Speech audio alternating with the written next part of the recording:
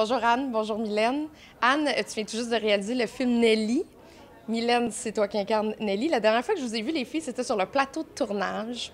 Est-ce qu'au bout de la ligne, c'était aussi casse-gueule que tu pensais de faire un film sur Nelly Arcan? Oui, je pense que c'est aussi casse-gueule que, j'imaginais. Euh, effectivement, on est peut-être... euh, en tout cas, personnellement, moi, je suis moins angoissée qu'au moment où on s'est rencontrés sur le plateau de tournage parce que j'ai vu le film quelques fois. On a voyagé avec le film, on a vu des premières réactions, donc euh, on sait qu'il y a quelque chose qui marche, fait qu'il y a une angoisse qui est moins là. J'ai l'impression que quand on regarde le film Nelly, on finit vraiment pas par saisir qui était Nelly Arcan. La vision que tu avais d'elle, c'est laquelle? Elle allait chercher des choses différentes chez moi, tu sais, à la fois une admiration sans borne pour son écriture, à la fois, je l'avoue, un peu d'irritation par moment parce que je me disais, ah, pourquoi ce besoin de faire tout ça, de se transformer, la chirurgie, moi, ça me, ça me confrontait parce que je lutte fort pour pas tomber là-dedans. Donc, moi, dans tout ça, euh, j'ai fait une grande recherche et à la fin de la recherche, j'avais l'impression de la connaître encore moins qu'au début de la recherche, dans le sens où tout le monde qui m'a parlé d'elle m'en a parlé d'une manière tellement différente. Je trouve aussi que dans les écrits de Nelly, c'est ça qu'on retrouve, cette extrême lucidité-là, tellement violente, qui fait souvent j'ai entendu euh, des femmes ou des hommes me dire j'ai commencé à lire, puis j'ai pas été capable de continuer à lire parce que c'est c'est trop difficile. Elle met le doigt sur des choses qu'on qu'on a de la, de la difficulté à accepter de nous-mêmes. Elle parle des rapports entre les sexes, des rapports au sexe. Puis du moment où tu as cette lucidité-là, ben, si, si tu te gèles pas par euh, la drogue ou quoi que ce soit, par l'amour ou par euh, le succès, tu peux pas être heureux, tu sais. Il faut que tu te gèles. Il faut qu'en quelque part, il y ait quelque chose qui gèle ça. Mylène, comment tu t'es préparée pour faire Nelly? Parce qu'il y a plusieurs Nelly. Est-ce que tu as transformé ton corps? Parce que tu as déjà une silhouette très mince. On sait que Nelly était très mince. Est-ce qu'il a fallu que tu ajustes ton corps en fonction d'elle ou tu as ça naturellement? Cette minceur-là.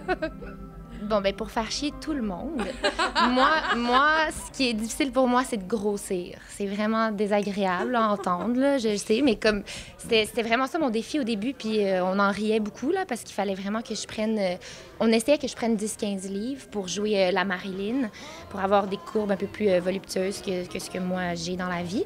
Il fallait aller chercher les rondeurs, mais pour Anne, c'était tellement pas important la ressemblance physique. Et comme j'ai la chance et la, la liberté de l'interpréter de quatre façons différentes, il faut pas coller à ce qu'était Nelly. J'ai pas à coller à sa voix, j'ai pas à coller à son corps. C'est une énergie en fait que j'amène dans chacun des personnages. Puis après ça, ils, ils connectent tous par la détresse ou euh, ils connectent tous par leur désir de plaire et d'être parfaite. Mais pour ce qui est de, du, du physique, j'avais quand même euh, beaucoup, beaucoup de liberté. Quand on regarde toutes les facettes de Nelly, on peut, on peut facilement appliquer ça à toutes les femmes parce que je suis certaine qu'on a à différents niveaux, là, mais un côté putain, un côté euh, créatif, un côté folle euh, que- qu'elle avait, qu'on peut s'approprier aussi.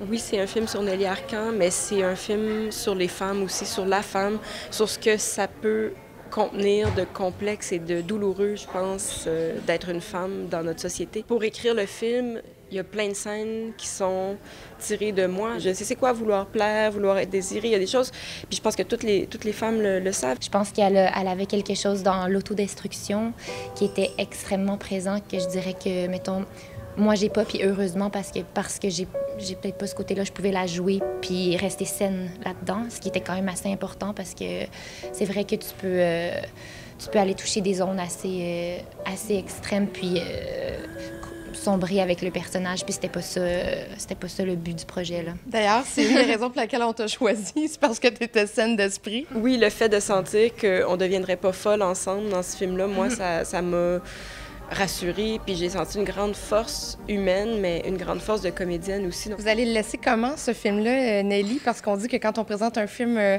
à des cinéphiles ou à des spectateurs, ben le film nous appartient plus.